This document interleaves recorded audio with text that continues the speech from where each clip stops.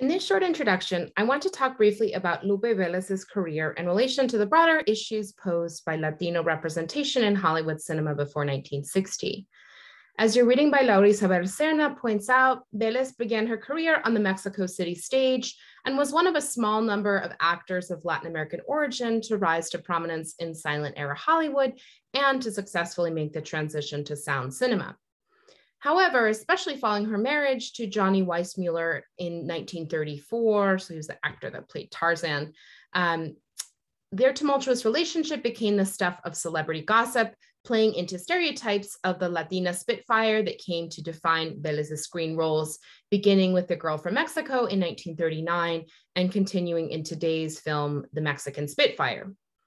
Ultimately, Velez appeared in eight Mexican Spitfire comedies for RKO.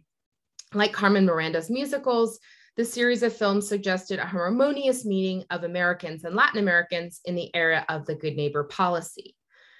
The Mexican Spitfire films tended to recycle the same plot points over and over again while centering on a caricatured representation of the hot blooded and hot tempered Carmelita.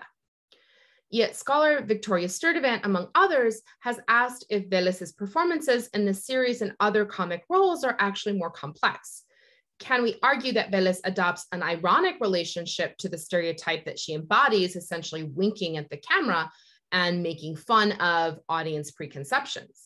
Does her play with language indicate less an imperfect command of English than an ability to twist misunderstandings to her own advantage? So, is the Mexican Spitfire image more ambivalent than it might appear at first glance?